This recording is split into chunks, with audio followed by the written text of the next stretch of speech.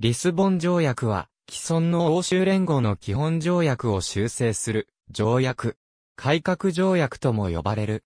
本条約の正式な名称は、欧州連合条約及び、欧州共同体設立条約を修正する、リスボン条約。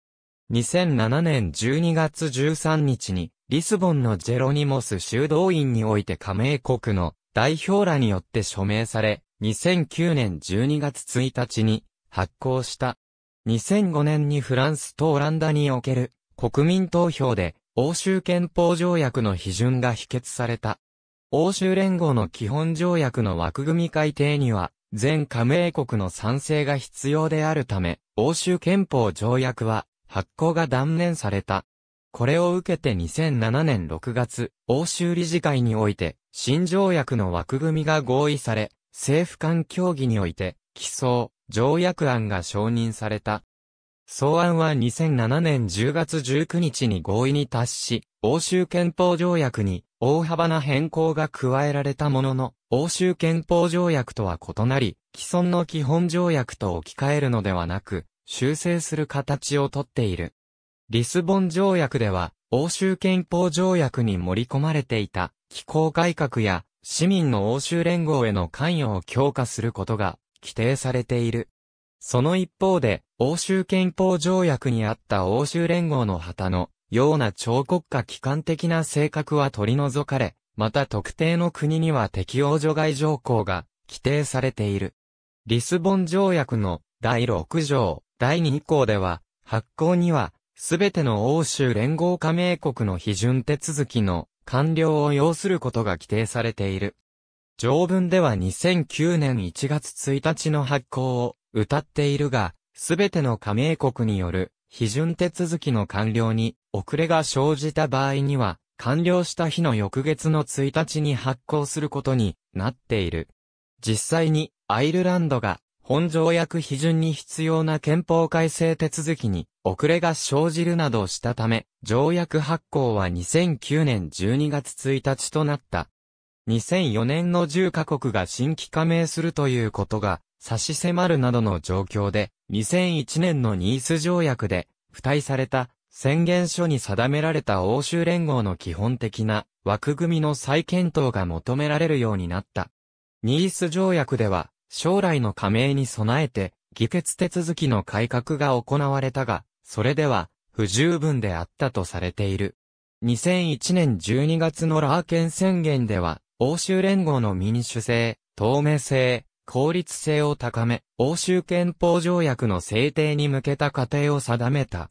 また、欧州の将来に関する協議会が設置され、議長に、元フランス大統領、バレリー・ジスカール・デスタンが就任、ヨーロッパ諸国に広く受け入れられるような憲法草案の起草という作業が与えられた。協議会は主に既存の加盟国だけでなく、加盟候補国からの各国議会の代表者で構成され、この他に各国政府の代表も加わった。2003年6月最終草案が発行され、条約案はアイルランドが議長国を務める2004年6月18から19日の欧州理事会において合意された。25カ国からの合意を得た憲法条約は2004年10月29日にローマにおいて署名式典が行われ調印された。欧州憲法条約が発行するには、すべての加盟国の批准がなされなければならないとされていたが、2005年にフランスとオランダにおいて国民投票が実施された結果、欧州憲法条約は拒否された。多くの加盟国が批准手続きを完了させていた一方で、基本条約の修正には全加盟国の承認が求められるため、この両国での国民投票の結果を受けて、熟慮期間が設定され、その後欧州憲法条約案は政治的に終焉を迎えることになった。2007年、ドイツが議長国となり、熟慮期間の終焉を宣言した。3月、欧州経済共同体設立条約調印50周年を迎え、全加盟国によりベルリン宣言が採択された。この宣言では、全加盟国が2009年中頃の欧州議会議員選挙までに新たな基本条約を策定、批准することが盛り込まれている。ベルリン宣言が出されるまでに、バローゾ委員会から二人の委員も加わった、ヨーロッパの政治家で構成される、ヨーロッパの民主主義のための行動委員会では、非公式ながらも欧州憲法条約の改定に着手していた。2007年6月4日、フランス語において6万3000語、448条からなる欧州憲法条約が1万2800語、70条にまで簡素化された改訂版が発表された。また加盟国首脳の間では、非公式に新たな条約に向けた以下のようなタイムラインを策定していた。リスボン条約調印式2007年6月21日、欧州理事会の会合がブリュッセルで行われ、拒絶された欧州憲法条約に代わって、新条約を作成することで合意された。会合はドイツが議長国を務めるもとで行われ、ドイツ連邦首相、アンゲラ・メルケルが議長として、協議を牽引した。会合では、キプロスやマルタのユーロ導入決定など、他の分野に関する議論が手早く行われ、その後新条約の協議が6月23日の午前5時まで続けられた。IGC に付託する16ページにわたる文書に合意がまとまり、その中で欧州憲法条約から憲法のような性格を持つ用語や欧州連合のシンボルといったものが除去される内容が盛り込まれた。その上で IGC に対して、欧州連合理事会での立法手続きや外交政策といった重要な点について、欧州憲法条約の規定の修正を求めた。イギリスやポーランドの圧力を受け、潜在的にイギリスに対する例外条項を設けるなど、欧州連合基本権限証の適用に関して限定的にするよう求めている。また、特定分野の立法手続きに関しては、例外的な対処がなされる余地を含めており、さらに、欧州憲法条約で規定されていた、新たな議決制度については2014年まで凍結することとされた。6月の会合において、新条約について、改革条約という名称が付けられ、このため、欧州憲法という名称は消し去られることになった。正確には、改革条約によって、欧州連合条約と欧州共同体設立条約の条文を欧州憲法条約にあった多くの内容に修正することとなるが、両条約を完全に統合するようなものにはなっていない。また実質的に EU 法の主要な規定のほとんどが含まれ、また法的に実効性を持つ文書である、欧州共同体設立条約を欧州連合の機能に関する条約に解消することが決められた。さらに、欧州憲法条約では、基本的人権条項が含まれていた点とは異なり、改革条約では既存の欧州連合基本権憲章に法的拘束力を持たせることを謳い、独立した文書とすることとなった。修正の多くは、アマート委員会が提示した内容となっている。ポルトガルはドイツを後押しし、IGC への付託に対する合意取りまとめを支えた。6月の協議や16ページにわたる改革条約の枠組みが決まり、同月23日に IGC での新条約の起草作業が開始された。ドイツの後を受け議長国となったポルトガルは、欧州連合条約及び、欧州共同体設立条約を修正する、条約草案と題した、145ページにわたる、条約本体文書と132ページにわたる12の、付帯議定書及び51の宣言書を提示し、起草作業の開始点として、欧州連合理事会のウェブサイト上に公開した。IGC には、各国政府の代表や法学者の他に、欧州議会からも欧州人民党、民主主義グループから、エルマー・ブロク、欧州社会党グループから、エンリケ・バロン・クレスポ、欧州自由民主同盟から、アンドルー・ダフの3人の代表が送られた。IGC が開かれるまで、ポーランドは6月に合意された内容の撤回を求めており、特に議決方式について反発していた。その一方で、協議の進行をただ一カ国が妨害するとみられることを恐れ、また他の加盟国からの政治的圧力を受けて、その姿勢を弱めた。しかし一部の報道によると起草過程の期間中に、ポーランドとアイルランドは、イギリスと共に、人権条項の例外規定を設けることを求め、またポーランドは加盟国が、立法手続きを遅らせることができる規定を加えるよう、求めていたとされている。アイルランドに対する例外規定が協議されていたにも、かかわらず、アイルランド労働組合会議は、例外規定が適用されていれば、国民投票での反対を呼びかけていたという声明を出した。結局アイルランドに対する人権分野に関する適用除外は実施されなかった。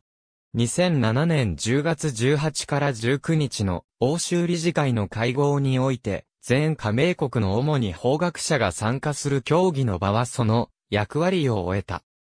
10月にリスボンにおいて IGC を呼び、欧州理事会の会合が開かれ、新条約を1992年のマーストリヒト条約、1997年のアムステルダム条約、2001年のニース条約といった過去の基本条約に倣ってリスボン条約とすることが決まった。新条約は同年12月に調印されることになった。欧州理事会の会合は議長国ポルトガル、同国首相、ジョゼ・ソクラテスの下で進められた。この会合の最後に、条約の調印に向けて、寸前の協議が行われ、以下のことが合意された。リスボン条約は、以下のような構成となっている。リスボン条約第5条において、欧州共同体設立条約は、欧州連合の機能に関する条約と解消され、条文番号も変更される。欧州憲法条約が2つの主要な基本条約と、欧州連合基本憲憲章に変わり、またこれらを単一の条約に統合する形をとっていたのとは異なり、リスボン条約は既存の条約の修正と基本憲憲章の法的拘束力を与えるものとなっている。リスボン条約草案で提唱されている変更を理解するためには、既存の複数の条約にまたがっている。規定の相互の関連性を把握しなければならない。このためリスボン条約は、可読性が低く、見苦しいと評されることが多い。典型的な例として、次の規定文が挙げられる。アーティクル7 shall be amended as follows, throughout the article, the word, assent shall be replaced by, consent, the reference to breach, of principles mentioned in article 6. shall be replaced by a reference to breach of the values referred to in article 2 and the words of this treaty shall be replaced by of the treaties 第7条は以下の通り修正する。本条を通して同意という単語は承諾と置き換え第6条で規定されている諸原則の違反に対する下りは第2条で言及されている価値観の配信と置き換えこの条約という語句は、諸条約と置き換える。リスボン条約では、欧州憲法条約で合意されていた、常任の欧州理事会議長や欧州連合外相、欧州議会の国別の議席数の配分、欧州委員会委員の削減、欧州連合からの脱退、国際協定調印など外交政策で独立した機関として活動することが認められる国際法人格の付与といった機構改革に関する規定の多くが継承されている。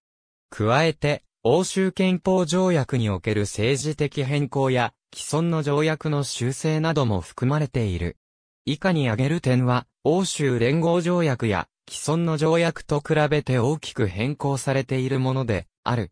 欧州共同体設立条約は、欧州連合の機能に関する条約に解消される。欧州憲法条約と異なるのは、欧州連合の2つの主要な基本条約が、単一の条約文書に統合されないという点である。さらに欧州連合の機構にも変更がなされる。一方で、欧州連合のシンボルや憲法といった国家のような特徴を表す規定や表現は取り除かれている。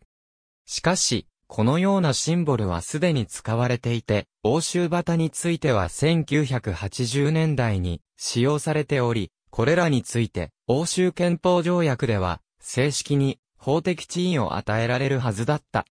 条文からは除かれたものの今後もシンボルは使用されることになっており、欧州議会でもそのことが確認されている。国家のような用語やシンボルが取り除かれたことと、同様に、欧州連合の様々な形態の法令に関して、従来の規則や指令といった用語が EU 法と改められることについても断念された。ただ16の加盟国はこれらのシンボルについて、不対宣言書で法的拘束力を持たないにも、かかわらず、それに準じて扱うことを宣言している。54箇条からなる、欧州連合基本権憲章では、連合市民の政治、社会、経済に関する権利が謳われている。同憲章では、欧州連合の規則や指令が、欧州連合のすべての加盟国が批准している、人権と基本的自由の保護のための条約に反してはならないとされている。廃案となった欧州憲法条約では、欧州連合基本権憲章が憲法条約の一部として取り込まれ、法的拘束力を持つことになっていた。ところが、欧州連合で、コモンローの制度を持つ二つの国の一つで、憲法が、重乗り化されていないイギリスは、欧州連合基本権憲章が法的拘束力を持つことに強く反対した。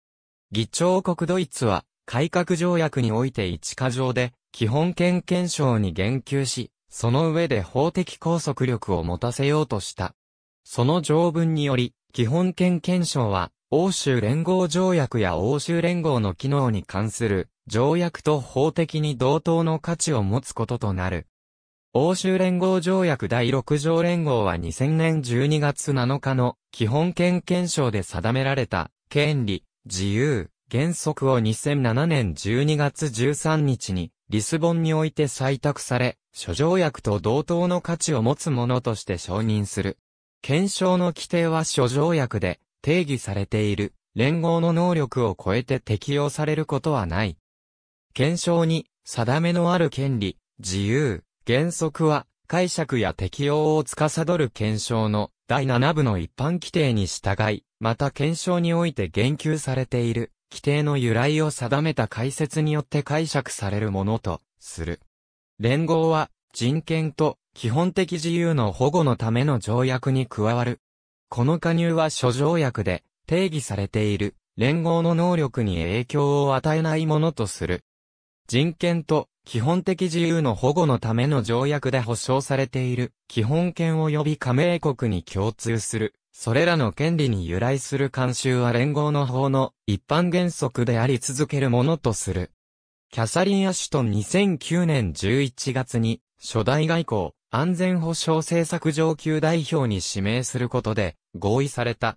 リスボン条約では対外関係は加盟国が一致した意見を要する政策分野であるとされている。また、同条約で、欧州委員会委員の人数を削減する一環として、共通外交、安全保障政策上級代表と、欧州委員会対外関係担当委員の統合がなされ、上級代表は、欧州委員会の副委員長となり、外交を一手に引き受けることになる。欧州憲法条約では、欧州連合外相として規定されていたが、リスボン条約では、欧州連合外務、安全保障政策上級代表として言及されている。加盟国の中にはこの役職が各国独自の外交政策をないがしろにするのではないかという不安があるが、欧州理事会では IGC が次の宣言について合意することを求めている。条約本文第11条の第1弾において言及されている特定の手続きに加えて IGC は、欧州連合外務、安全保障政策上級代表と、対外施設などの共通外交、安全保障政策についての規定が、第三国との関係や、国際連合安全保障理事会の理事国に、つくといった、国際機関への参加などに関する外交の方針や、運営、施設について、加盟国の既存の法的原則や義務、権限に影響をしないことを明確にする。IGC はまた、共通外交、安全保障政策についての規定が、欧州委員会に対して新たな決定権を与えたり、欧州議会の役割を増やしたりしないよう配慮する。さらに IGC は、共通外交、安全保障政策を司る規定が、加盟国の安全保障や防衛に関する政策の特性を阻害しないことを確認する。対外関係に関する変更点は一部で、単一欧州議定書における単一市場の設置や、欧州連合条約におけるユーロの導入、アムステルダム条約における司法、内務協力の強化と同様に、本条約の最重要点とみなす向きがある。2009年11月19日に、ブリュッセルで開かれた、加盟国首脳による、非公式会合において、初代外務、安全保障政策上級代表に、イギリス出身の欧州委員会委員キャサリン・アシュトンを指名することで合意された。直接選挙で選ばれる欧州議会の権限は、リスボン条約の下で強化される。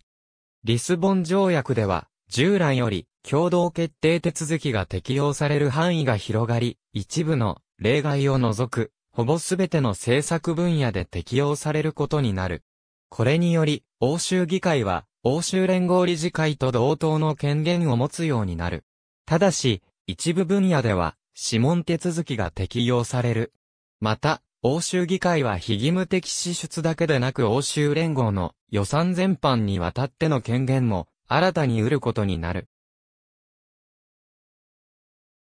加盟国の国内議会は、欧州連合条約新第33条に定められる基本書条約の改定に関して、また新第34条の新規加盟の申請に関して重要な役割が与えられることになっている。国内議会は欧州連合の機能に関する条約修正後、第69条の刑事司法協力の強化について拒否権を行使することができるようになる。欧州連合条約新第12条国内議会は、連合が正常に機能するために、以下の手段によって、能動的に貢献するものとする。欧州連合の国内加盟国の役割に関する議定書に従って、欧州連合の機関によって、通知、送付された欧州連合の法令案への対処補完性及び比例性原理の適用に関する議定書で規定されている手続きに従って、補完性原理の尊重への配慮欧州連合の機能に関する条約第70条に従って、自由、治安、司法の枠組み内におけるこれらの分野の連合の政策実施に対する評価メカニズムへの参加、及び第88条と第85条に従って、欧州刑事警察機構の政治的監視と、欧州司法機構の活動の評価への関与、本条約第48条に従って、諸条約の改定手続きへの参加。本条約第49条に従って、連合への加盟申請の通知の受理欧州連合の各国議会の役割に関する議定書に従って、各国議会及び欧州議会との間での相互協力への参加、ヤンペーター・バルケネンで国内議会に国民投票の実施決定に関する権限を与えるべきだと主張した。上記の点は、欧州連合の意思決定の過程における国内議会により大きな役割を求めていたオランダの首相ヤンペーター・バルケネンでの最大限の譲歩の結果である。付属第二議定書では、欧州連合の施策が補完性原理を遵守していることを確かなものにするために国内議会により大きな役割を与えている。リスボン条約では、欧州委員会が提出した法案の国内議会による調査期間を8週間とし、また、法案が補完性原理に反している理由を述べた意見を国内議会は欧州委員会に対し送付できる。さらに、施策の再検討を求める決議を採択することができる。再検討が必要であるとする票が3分の1を上回った場合、欧州委員会は、施策案の再検討をしなければならず、再検討後に、施策案に変更を与えないと決定した場合は、補完性原理にかなっているとする欧州委員会の根拠を議会に提示しなければならない。リスボン条約では、欧州連合理事会での全会一致を要しない法令について、新たな評決手続きが導入されることになる。いわゆる特定多数決方式について、可決に要する票数が、理事会の各国代表の55%かつ、賛成を投じた出席者の出身国の人口が、欧州連合全体の人口の65%とされた。理事会が欧州委員会の提案に従わない場合は、必要とされる多数は、人口については同じとされているが、代表者については、全体の72%とされている。法案成立の阻止には少なくとも4カ国が反対しなければならない。従来のニース条約の評決の規定、評決での賛成割合、人口要件は2014年まで継続されることになっている。2014年から2017年の間は、移行期間が設定され、新たな特定多数決方式が適用されるが、加盟国の求めに応じて、旧方式が適用される場合もある。また2014年以降は1994年のヨアニーナの妥協の新たな方式も用いられることになっており、これによって欧州連合の規模の小さい国は、自らが賛成しない欧州連合の決定の再考を求めることができる。リスボン条約では、欧州連合の3つの柱構造は廃止されることになっている。欧州連合の2つの大きな柱に例えられる政策分野、すなわち共通外交、安全保障政策と警察、刑事司法協力に関する欧州連合の権能は拡張されることになる。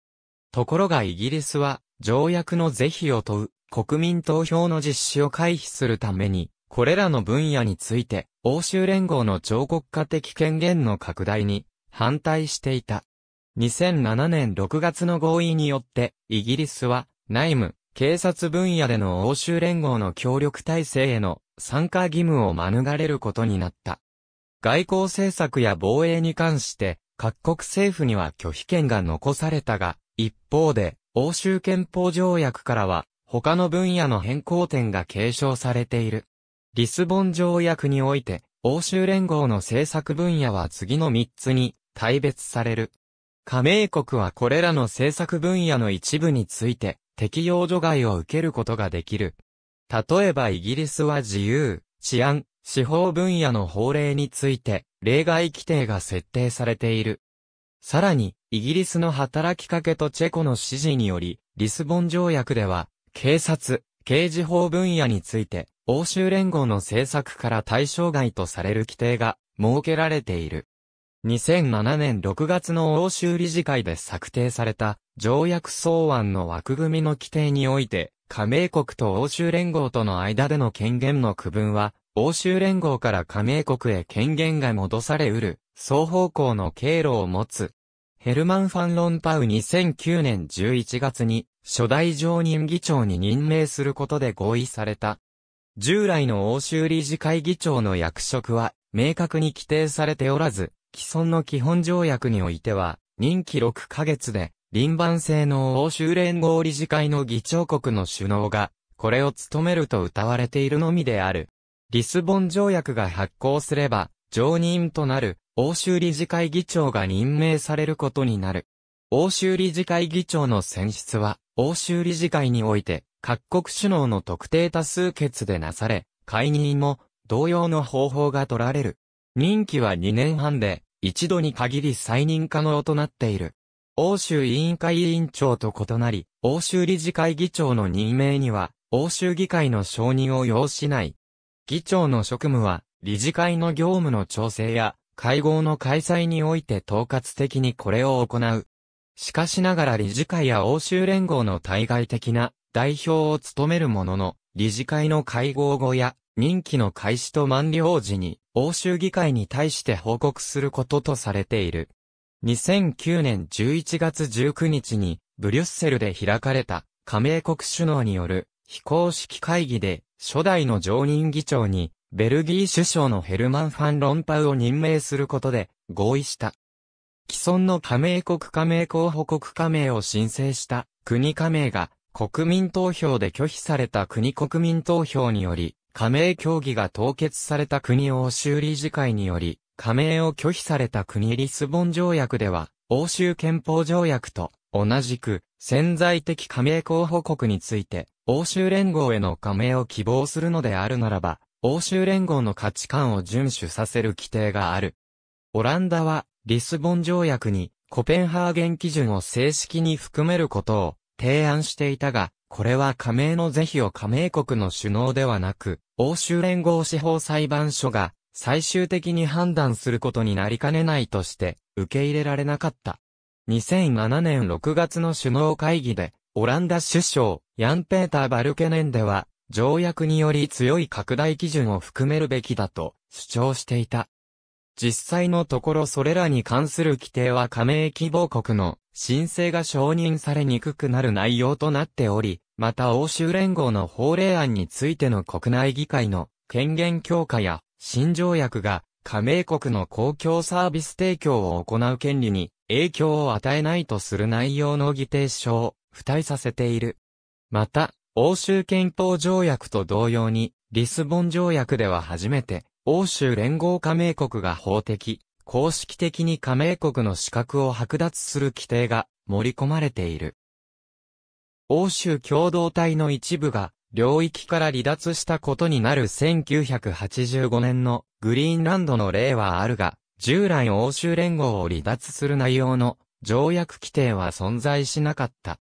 欧州憲法条約から引き継いだ特徴にはこの他に、フランス、デンマーク、オランダの海外領土の地位の変更について、条約の修正を要しないこととなった点がある。代わりに、欧州理事会において、当事国の発案により、海外領土や外部領域などの特別領域の地位を変動することができるようになった。この規定は、オランダの提案で組み込まれ、オランダでは、同国領のアンティルやアルバの欧州連合における、将来についても欧州連合の機構改革の一環として調査してきた経緯がある。リスボン条約では、気候変動や地球温暖化に対する戦いに関する追加的合意が含まれており、これらは欧州連合の目標にも加えられている。さらに、条約のいくつかの規定は、エネルギー供給関連の連帯や、欧州連合域内におけるエネルギー政策について、修正がなされている。イギリスとポーランドは共に自国に対する欧州連合司法裁判所による欧州連合基本権憲章の適用を免れることを定めた第30議定書を付帯させることで共に行動した。第1条1、憲章はポーランドの、あるいは、連合王国の法律、規則、行政規定、慣例、訴訟が再容認する、基本的権利、自由、原則と相反することを宣告するために、欧州連合司法裁判所もしくは他の裁判所もしくは、ポーランドの、あるいは、連合王国の法廷の権能を拡大しない。2、とりわけ、そして誤解の忌避のために、ポーランドの、あるいは、連合王国の国内法で全項の権利のために、規定されている限り以外では、検証第4部はポーランドあるいは、連合王国に適用できる裁判を受ける権利を何も創出しない。第2条検証の規定が国内法及び慣例に言及する範囲で、ポーランドの、あるいは連合王国の法律もしくは慣例で承認されている権利もしくは原則を含んでいる範囲はポーランドあるいは連合王国にのみに適用するものとする。ポーランドの政党市民プラットフォームは2007年の議会選挙期間中、基本権検証の適用除外を受けるとはしないとしていたが、同国首相、ドナルド・トゥスクは、ポーランドは検証に調印しないと発言している。トゥスクは、かつて、いずれは検証に調印することになることを示唆していたが、前政権が協議してきた内容は尊重すると宣言した。アイルランドとイギリスは、警察や司法での分野について、全会一致から特定多数決での評決に変更することについての適用除外を受けることになった。この決定は、条約が発行した後、3年以内に再検討されることになっている。両国ともこれらの評決については案件ごとに適用除外を受けることができる。国別の批准手続き完了の状況ドイツによって計画され2007年6月の首脳会議で合意されたタイムテーブルの下、すべての加盟国は2007年6月の首脳会議で合意された、付託文書を新条約の協議の基本文書として使うことになり、新条約は2007年末までに、その協議を終了させ、2007年末までに、すべての加盟国での批准を完了させて、2009年1月1日に、次回の欧州議会選挙に備えて発行させることになった。発行には、全員加盟国の批准が必要であり、アイルランドを除く加盟国は新条約に関する国民投票の実施を回避した。アイルランドでは、欧州連合の基本条約の修正のためには、憲法を改正する必要があり、そのための国民投票の実施が義務付けられている。批准手続きに国民投票を実施することについては一部の加盟国で議論となった。デンマークでは、リスボン条約に関する国民投票の実施を求める声が高まっていたが、同国首相、アナス・フォーラスムセンは2007年12月11日に、新条約を国民投票で図らないと表明し、議会も同日この方針を確認した。チェコ、オランダ、イギリスでは、国民投票の実施の是非について検討がなされ、いずれの政府も議会での批准を決めている。オランダとイギリスでは、議会が政府の決定に反して国民投票を強行する権限を持つが、実施反対派が多数を占めておりその見通しはほとんどなかった。チェコは2007年10月30日に国民投票ではなく議会でのリスボン条約批准を議会で決しており、この採決には、ボヘミア・モラビア共産党や与党市民民主党の造反議員3名が実施賛成に回った。アイルランドでは2008年6月12日にリスボン条約批准に伴う憲法改正の是非を問う国民投票が実施され、翌日に開票された結果、投票率53.13%で賛成46.6%、反対53.4%となり憲法改正、条約批准に国民の同意が得られなかった。この国民投票は、他の加盟国政府が欧州憲法条約失敗の繰り返しを恐れて、国民投票の実施を見送る中、アイルランドでは、欧州連合の基本条約を批准、開廃するときは、憲法第29条の規定を改正する必要があるという最高裁判所判決が下されたという経緯があり、リスボン条約の批准にあたっても、憲法改正が必要となったためである。アイルランドでは、国民投票実施の前月に首相に就任したばかりのブライアン・カウエンを筆頭に与野党を問わず主要政党がリスボン条約批准賛成を呼びかけていた。その一方で、有権者の間でリスボン条約に対する理解が浸透せず、これに受けて、議会で少数派のシンフェイン党などが、わからないものには、反対をという運動を起こし、有権者も同調したことも反対が上回った原因に考えられている。アイルランドでは2001年にもニース条約批准に有権者の同意が得られず、二度目の国民投票で批准にこぎつけたということがある。ニース条約の時は2002年末までに全加盟国が批准しなければ破棄されるという規定があったが、リスボン条約第6条、第2項では2009年1月1日の発行が目標とされているものの、同日に発行されなければ、すべての加盟国での批准手続きが完了した翌月の月初日に発行することが同時に規定されている。そのため2008年6月19から20日にブリュッセルで開かれた欧州理事会では、各国首脳が批准の議決を完了させていない加盟国での手続きを進め、その上でアイルランドに受け入れられるような適用除外規定を付属議定書の形で加えることなどの対応が協議され、リスボン条約を発行させるための努力を続けることを確認した。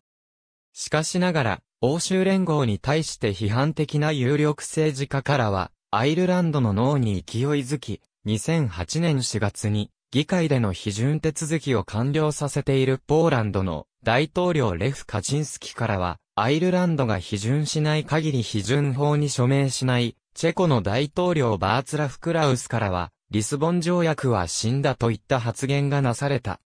2008年12月11から12日に、ブリュッセルで開かれた欧州理事会において、リスボン条約は、欧州連合の拡大とより、効率的、より民主的な運営のために必要なものであるということが再確認された。この首脳会議に先立って、アイルランド政府は2008年6月の国民投票について分析し、アイルランドから欧州委員会委員を出せなくなるという点が反対された大きな原因であると判断した。そこで各国首脳はリスボン条約が発行していても欧州委員会では各国から一人ずつ委員を出す、従来の制度を維持することで合意した。また、アイルランドの税制、国防における中立性や妊娠中絶、安楽死、同性婚などのアイルランドの伝統的な考え方について特別な配慮をまとめた付属議定書を作成することになった。これらの対応を受けてアイルランドはバローゾ委員会の公認の欧州委員会が発足する2009年11月までに、再び国民投票を実施することとなり、2009年6月18から19日に行われた欧州理事会で議定書案が合意された。2009年7月8日、カウエンは議会において2度目の国民投票を同年10月2日に実施することを発表した。2009年10月2日に2度目の国民投票が実施され、翌日に開票された結果、投票率59%で、賛成67.13%、反対32.87%となり、憲法改正、条約批准が国民に承認された。前回と結果が異なった背景として、1990年代後半からおよそ10年続いたケルトの虎と呼ばれる好景気で外資や輸出に経済を依存してきたアイルランドは、世界金融危機の影響によって一転し、失業率も2009年中に17%にまで達するという見込みがなされるなど深刻な不況に見舞われている中で、有権者の間で欧州連合に対する評価が再確認されたことが挙げられる。2回目の国民投票にあたって、与野党を問わずほとんどの政党が賛成に投票するよう呼びかけたほか、元ポーランド大統領、レフ・バーウェンサや欧州議会議長、イエジ・ブゼクといった国外の政治家も、アイルランドで条約批准への支持を有権者に求めた。また経済界からもアイルランド産業雇用者、連合会長、ダニー・マッコイや、ライアン・エアー最高経営責任者、マイケル・オリアリーなどが、批准賛成を打ち出して、キャンペーンを展開するなど、リスボン条約への支持が広まっていった。カチンスキの反応リスボン条約批准法に署名する、レフカチンスキポーランドでは、大統領レフカチンスキが、リスボン条約に懐疑的な立場を取ってきた。2008年4月に、議会両院で、リスボン批准が承認されたが、カチンスキは直ちに批准法に署名しなかった。2008年6月にアイルランドの国民投票でリスボン条約批准が拒否されると、カチンスキはアイルランドが国民投票で承認しない限りは、ポーランドの批准法に署名しないと表明した。カチンスキはリスボン条約の障害になるつもりはないが、アイルランド国民がイエスと言わないような条約に署名するつもりもないという意思を繰り返し述べていった。2009年10月、アイルランドの2度目の国民投票で賛成が大きく上回ったという結果を受けて、カチンスキは直ちに批准法に署名することを表明した。同月10日、カチンスキは欧州委員会委員長、ジョゼマヌエル・ドゥランバローゾ、2009年後半の欧州連合理事会議長国であるスウェーデンの首相、フレドリック・ラインフェルト、欧州議会議長、イエジブゼクを大統領宮殿に招いて、式典を行い、その場で、批准法に署名した。ドイツでは、野党左翼党や与党キリスト教社会同盟に所属する連邦議会議員、ペーター・ガウバイラーらによって、リスボン条約がドイツ連邦共和国基本法に違反するとして、連邦憲法裁判所に一見審査を求めた。ドイツでは、議会での批准手続きを2008年5月までに終えていたが、意見審査の開始を受けて、連邦大統領、ホルスト・ケーラーは、連邦憲法裁判所が合憲と判断するまで、ドイツでの批准手続き完了に必要な連邦大統領の署名をしないことを表明した。2009年6月30日に連邦憲法裁判所は意見審査の結果を明らかにし、結論としては、リスボン条約はドイツ連邦共和国基本法に反しないと判断した。一方で、欧州連合の政策決定に関与する点で、国内法の改正が必要であるとした。この判断を受けて、同年9月27日に総選挙が実施されるという日程上の余裕がない中で8月27日から議会における議論を開始し、連邦議会で9月8日に、連邦参議院で9月18日にそれぞれ改正法案を可決した。議会での改正法成立を受けてケーラーは9月25日に批准文書に署名し、ドイツの批准手続きを完了させた。バーツラフ・クラウスとレフカチンスキチェコでは2008年4月24日、元老院において、議員全70人中48人が、リスボン条約が、チェコ国内法に反しないかどうかを憲法裁判所に審査することを求める決議を採択した。この決議により、チェコでは、元老院、大議員ともに、リスボン条約の批准についての審議を保留することとなった。2008年11月26日、憲法裁判所は、リスボン条約について、判事全員が国内法に反しないと判断した。ところが、この判断に対して、リスボン条約に批判的な立場を取る大統領、バーツラフ・クラウスは、憲法裁判所の判断はもっぱら政治的なものであり、司法の立場からなされたものではないと述べている。他方で、議会は、リスボン条約批准の手続きを開始し、2009年2月18日、大議員は批准承認に必要な全議員の5分の3をわずかに上回る125人が賛成した。ところが3月24日、チェコが2009年前半の欧州連合理事会議長国であるにもかかわらず、大議員において、ミレク・トッポラーネク政権に対する不信任決議が、与党市民民主党の一部の議員の造反によって、可決されるという波乱が起きる。政治情勢が流動化する中で、元老院での批准の見通しが一時は不透明となったが、5月6日に採決を行い、全員議員79人中54人が賛成して、批准が承認された。議会での批准手続きは完了したものの、クラウスは、アイルランドでの2度目の国民投票の結果が出るまで、批准文書に署名しないと発言してきており、さらには、憲法裁判所に、再度の審査を求めるよう、自分に近い元老院議員に促してきた。この動きに同調して、イギリスの野党保守党党首のデイビッド・キャメロンは、2010年に実施が見込まれている総選挙で政権を奪取した際にはイギリスで国民投票を実施する意向を表明しており、この国民投票実施まで批准文書への署名延期をクラウスに求めた。加えて2009年9月29日に、イルジー・オベルファルゼルら市民民主党所属の元老院議員が憲法裁判所に対して再度の審査を求め、10月1日に憲法裁判所は審査を開始することを発表した。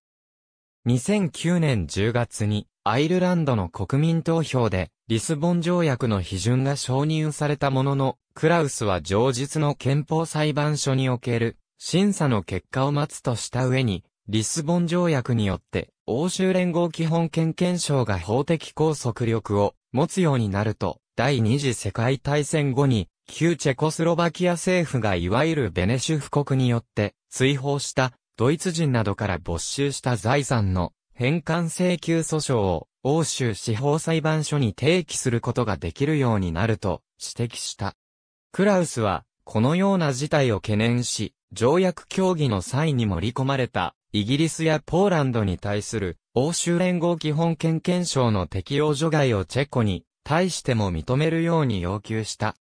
当時の議長国であるスウェーデンの首相フレドリック・ラインフェルトは、このクラウスの要求に応じ、同月29から30日に開催された欧州理事会の会合で、チェコに対する欧州連合基本権憲章の適用除外を認めることを提案した。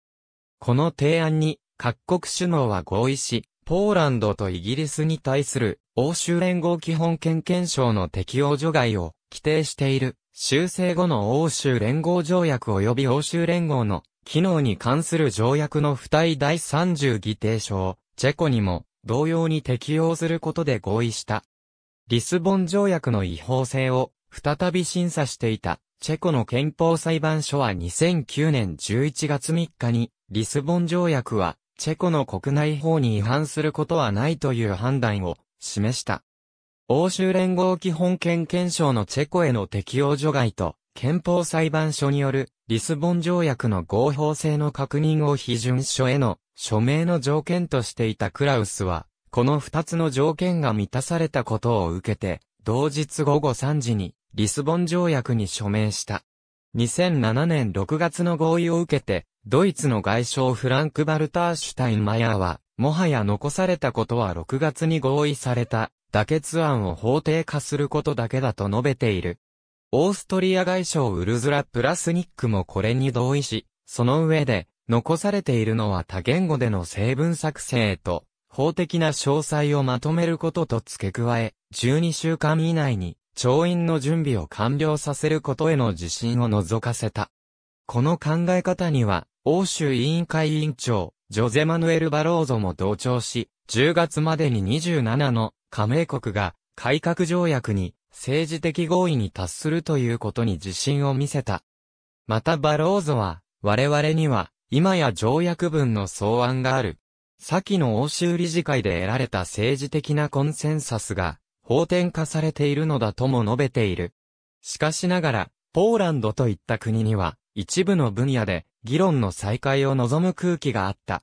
2007年6月、ポーランド首相ヤロスワフ・カチンスキは、ポーランドは第二次世界大戦が起こらなければ、今よりもずっと人口が多かっただろうと、物議を醸す発言をしている。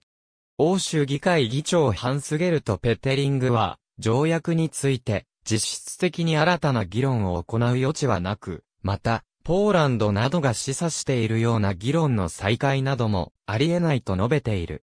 IGC に参加した欧州議会代表団の一人であるエルマー・ブロックはペッテリングの発言に加える形でもはやこの付託文書は条約草案にされる段階となっていると述べている。イギリスにおいてリスボン条約は議論を呼んでいる。与党労働党は欧州憲法条約の批准にあたって国民投票の実施を掲げていたが、同国首相、トニー・ブレアは、新たな改革条約については、国民投票の実施の必要はないと述べている。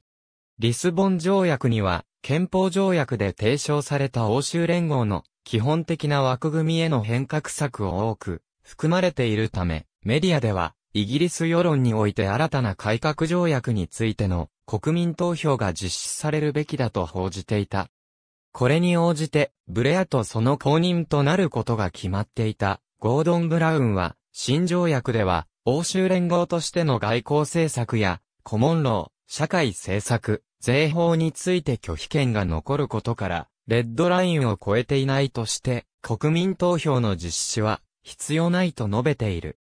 ブレアが妥結に至ったと主張しているが、欧州連合には外交担当機関が数多く残っており、つまり、欧州連合は、イギリスの利益とは関係なく、外交政策を運営することとなるため、ブレアの外交政策に関する適用除外の実際の有効性に疑問が投げかけられた。また欧州連合の目的から、自由で歪みのないという言葉が除かれたことも、関心を集めた。これは、フランス大統領、ニコラ・サルコジが求めたことで、サルコジはこの文言について、思想的な目標ではなく目的達成のための手段として用いられていると考えていた。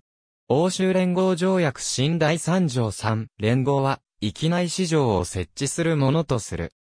連合は、完全雇用、社会の進歩及び、環境の質の保護と改善の高水準を目標とし、均衡の取れた、経済成長と、物価安定、高い自由競争による、社会市場経済に基づく欧州の持続的な、発展のために機能するものとする。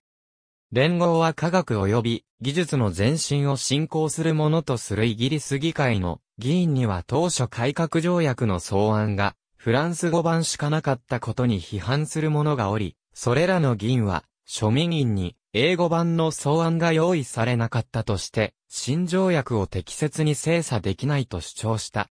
2007年10月、庶民員欧州監視委員会は、改革条約は大筋で、欧州憲法条約と同質のものであり、この条約で、イギリスのために規定された特例は、実際のところでは効果を持たないと主張した。この見解は、外相デイビッド・ミリバンドの意見と対立するものとなっている。ありがとうございます。